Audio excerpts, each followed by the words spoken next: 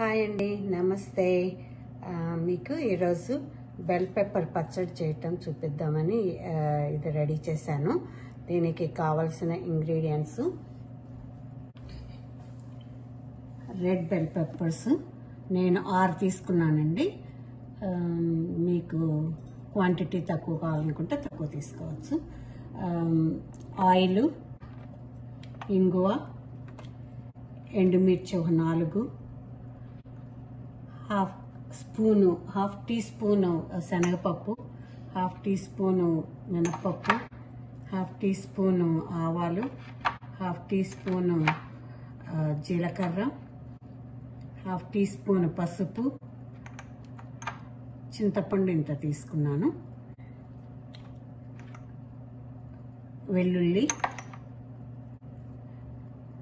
Salt వంద గ్రాముల దాకా పచ్చిమిరపకాయలు థాయ్ చిల్లీస్ తీసుకున్నాను నేను. ఇదండి కావాల్సిన ఇంగ్రీడియంట్స్ దీన్ని బెల్ పెప్పర్లని మనం కడిగి వీటిని ముక్కలుగా కట్ చేసుకొని రెడీ చేసుకుందాం. తర్వాత నెక్స్ట్ ప్రాసెస్ చూద్దాం.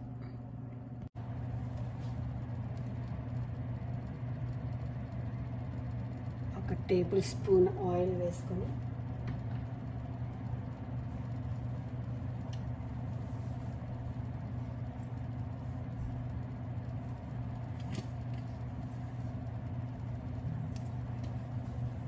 ఈ వేడి వేడి అయిన తర్వాత మనం పచ్చిమిరపకాయలు వేయించుకున్నామండి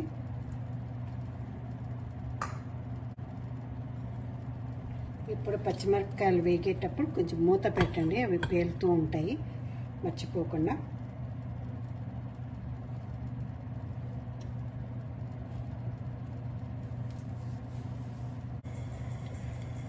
పచ్చిమిర్చి ఎంతవరకు వేగాయో చూద్దామండి. వేగాయి. నేను తీసి పక్కన పెట్టేసేసి బర్నర్ని పెంచుకున్నాం. ఇవి పెట్టేసేసి దీనికి సరిపడా ఒక టూ టేబుల్ స్పూన్ ఆయిల్ వేసుకొని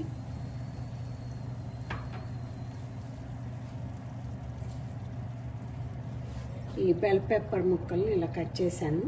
వీటిని వే-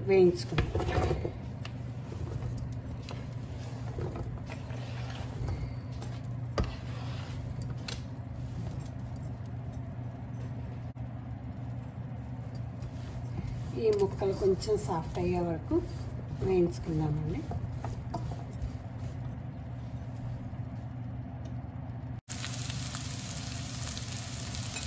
మన బెల్ పెప్పర్లు వేగాయండి ఇలా వేస్తే సరిపోతుంది. మనం స్పూన్ తీసుకొని ఇలా కట్ చేస్తే ముక్క. ఇది మెత్తగా అంత మెత్తగా ఉడికితే సరిపోతుంది. ఎందుకంటే మనం గ్రైండ్ చేస్తాం కదా మరీ సాఫ్ట్ అవ్వక్కర్లేదు.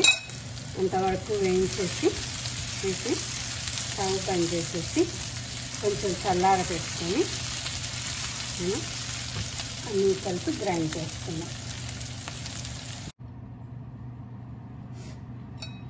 మన బెల్ పెప్పర్ చల్లారిపోయాయండి. ఇప్పుడు మనం ఇందాక వేయించుకొని ఉంచుకున్న పచ్చిమిర్చి ఒక మిక్సీలో వేసుకొని దీనిలో చింతపండు.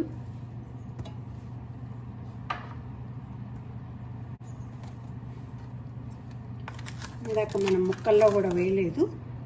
అందుకని ఇందులో సరిపడా సాల్ట్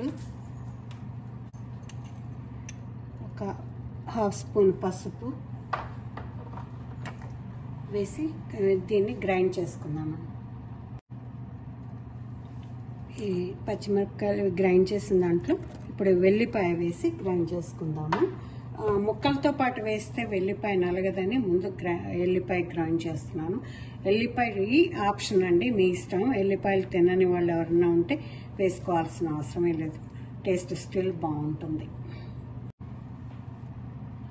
ఆ వెల్లిపాయ గ్రైండ్ అయిన తర్వాత మనం వేయించి ఉంచుకున్న ఈ బెల్ పెప్పర్లు వేసేసి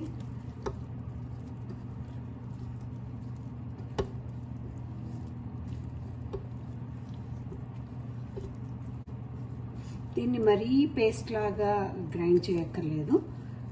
కొంచెం కచ్చాపచ్చగా ఉంటేనే బాగుంటుంది.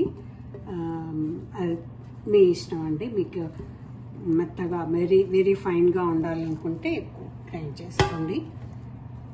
గ్రైండ్ చేద్దాం ఇప్పుడు మనం. మన పచ్చడి గ్రైండ్ చేసుకొని వచ్చానండి. ఇందులో మనం తిరగమాత వేసుకుందాము. స్టవ్ వెలిగించి చిన్న ప్యాన్ పెట్టుకొని దీనిలో ఒక టేబుల్ స్పూన్ ఆయిల్ వేసి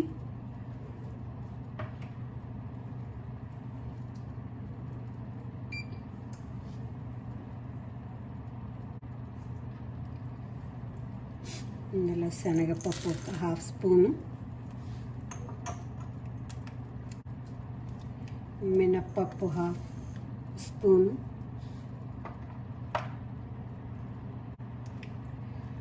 ఆవాలు హాఫ్ స్పూను. జీలకర్ర హాఫ్ స్పూను. వేసి ఇవి దోరగా వేగే వరకు వేయించుకొని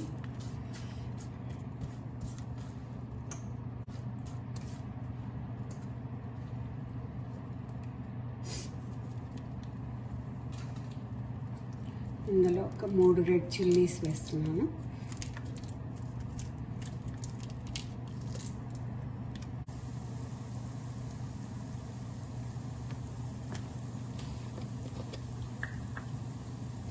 ఇందులో కొంచెంగా ఇంగువ వేసుకోండి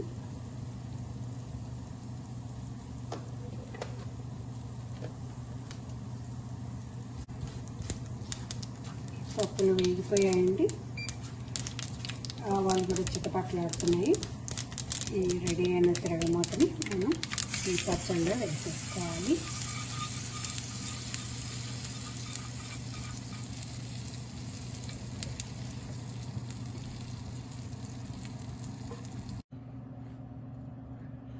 ఇదండి మన రెడ్ బెల్ పెప్పర్ పచ్చడి. ఇది రోటీలోకి కూడా బాగుంటుంది. అన్నంలోకి వేడివేడి అన్నంలోకి తింటే చాలా బాగుంటుంది. ఇది రెండు మూడు రోజులు కూడా బా మనకి బయట వదిలేసినా కూడా బాగానే ఉంటుంది. మీరందరూ తప్పనిసరిగా ఇది ట్రై చేసి ఒక్కసారి టేస్ట్ చేసి కనీసం మీకు నచ్చితే మళ్ళీ మళ్ళీ చేసుకోండి. దీన్ని మీరు చేసి టేస్ట్ చేసి ఎలా ఉందో చెప్తారని ఆశిస్తున్నాను. మీ కామెంట్స్ కానీ క్వశ్చన్స్ కానీ ఏమన్నా ఉంటే పోస్ట్ చేయండి. మీరందరూ ఒక- తప్పనిసరిగా ట్రై చేసి చూడండి. చాలా బాగుంటుంది. ఉంటానండి. Thank you. బాయ్.